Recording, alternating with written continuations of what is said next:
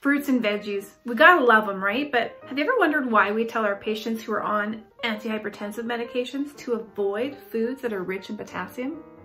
Now I've done a series of videos that talk about blood pressure and I'll just share them here with you now because they're all foundational to what we're gonna be covering in this video. The first is, what is blood pressure? Kind of breaks it down into the different components of systolic and diastolic. The second one is osmoreceptors. So those are the, one of those mechanisms that we have inside our body that are helping to regulate our blood pressure, along with our baroreceptors. And then we also have the renin-angiotensin-aldosterone system, again, one of my favorites. So these are three mechanisms that I talk about to help people understand what's going on inside of our body to regulate blood pressure. Now, hypertension is a diagnosis that is given when your blood pressure is elevated over a period of time. That's all important because today we're gonna to start to look at the treatment methods for high blood pressure. And we've talked about the stepped management in the hypertension video. And today we're gonna look at what would happen if you were into step two. So step one was all about diet and lifestyle changes. And in step two, we start to introduce pharmacological or medicine to help manage blood pressure. So there are five main categories of medications that you may have heard you might be currently using to help manage high blood pressure. You may be on one of these, you may be on a combination of these, you might be changing one out for another, and that's okay, that's part of your treatment plan.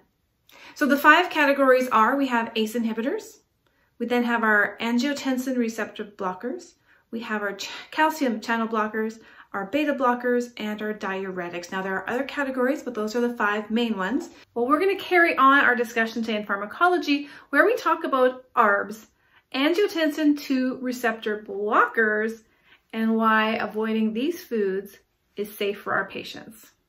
Right after this.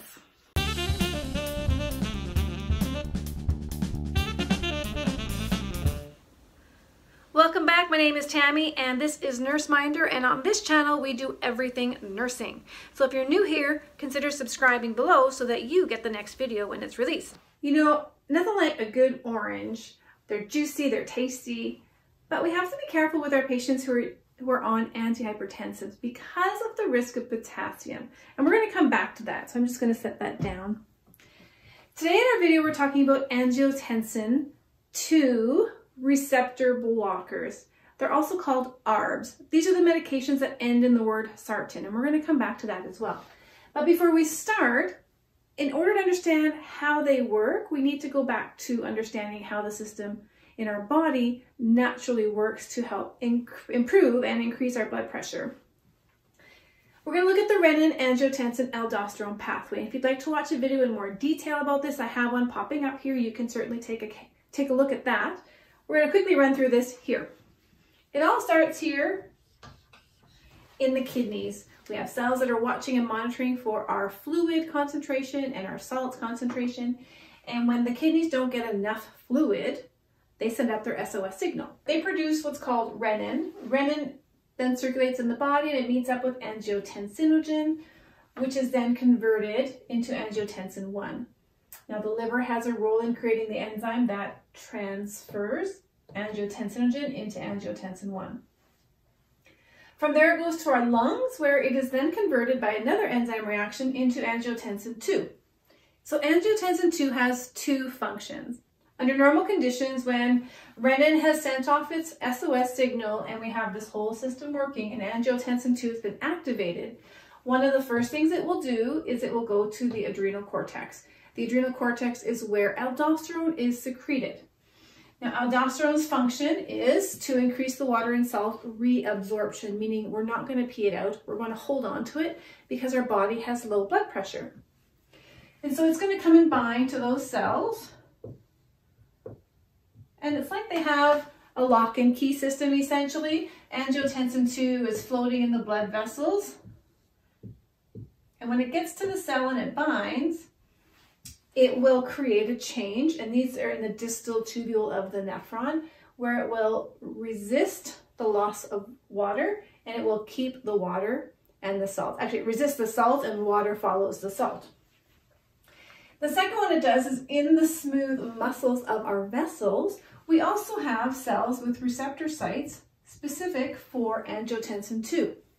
And again, these things will make their way over and bind, and then these cells will cause a constriction of the vessel and make them smaller. This is the normal function of angiotensin II.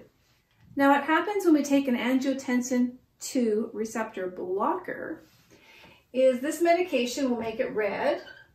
This medication is also in the bloodstream now. It's been metabolized by the liver, it's into the body, and it will come and it will bind at this site instead, which means when the angiotensin II comes by, it can't bind so that it just carries on and it stays in the blood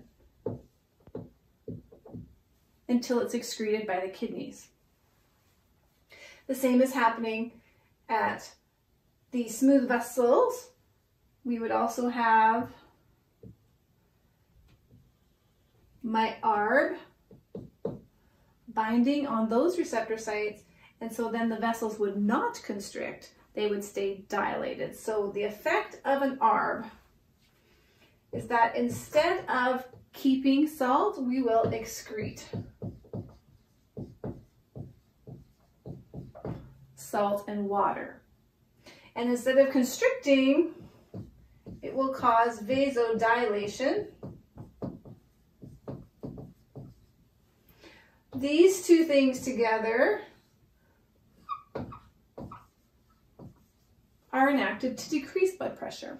So a quick review, angiotensin 2, its normal function is to hit to the kidneys. The kidneys will then activate the reabsorption of sodium and water.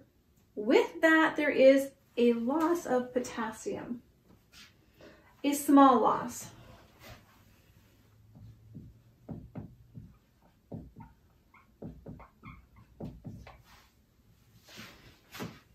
The second thing it will do is it will go to the smooth muscles of our vessels and cause vasoconstriction to elevate blood pressure. Both of these systems work together to elevate blood pressure. So now you can imagine if we're taking something that blocks these,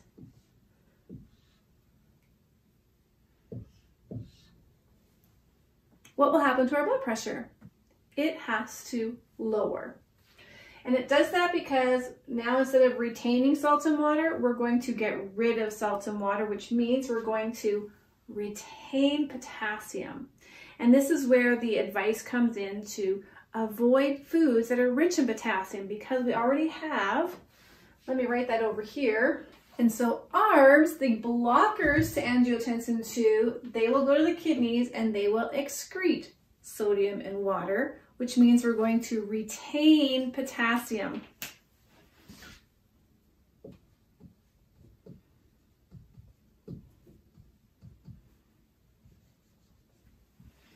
Okay, and then at the smooth muscle level, it's going to cause them to relax, vasodilate, chill out, and those two collectively are working to lower blood pressure. So when it comes to naming angiotensin 2 receptor blockers, ARBs, we will find that in the generic terms, they will have an ending of sartan. And there are some ways to help find clues in this ending or suffix, as we call it, to help you recall what kind of medication this is. So there's two A's in here, and I know I'm looking at angiotensin 2. So it's going to stop angiotensin 2 receptors from triggering. And I have that written here for you. So it's the beginning S-A-R-T, sartans, stop angiotensin 2 from triggering those receptors. Examples include losartan, valsartan, candesartan. You see that when you see a name with sartan, you should be thinking ARBs, angiotensin 2 receptor blockers. And when you think of stopping angiotensin 2, I know that the function of angiotensin 2 is to increase blood pressure. So to stop it means I should have a resulting decreased blood pressure. So we would use these medications to treat high blood pressure, known as hypertension. There are some other illnesses that would benefit from this as well. If our target is to lower the blood pressure, we are also impacting the work of the heart. So a patient with a diagnosis of heart failure may also be on an ARB due to the fact that it decreases the resistance because it's opening up those vessels.